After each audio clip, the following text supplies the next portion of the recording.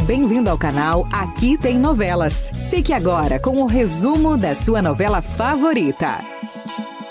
O Cravo e a Rosa, capítulo 95. Joaquim concede a mão de Marcela em casamento a Batista. Berenice resolve colocar a limpo a história do marido de Joana. Joaquim aconselha Januário a fazer o feitiço do anel para conquistar Lindinha. Bárbara agarra Fábio. Dalva segue de Norá e Celso lhe promete a si mesma fazer com que Cornélio saiba da traição. Neca conta a Catarina que Petrúquio nunca foi louco. Marcela fica furiosa ao saber que Serafim entregou os papéis de Januário ao pai.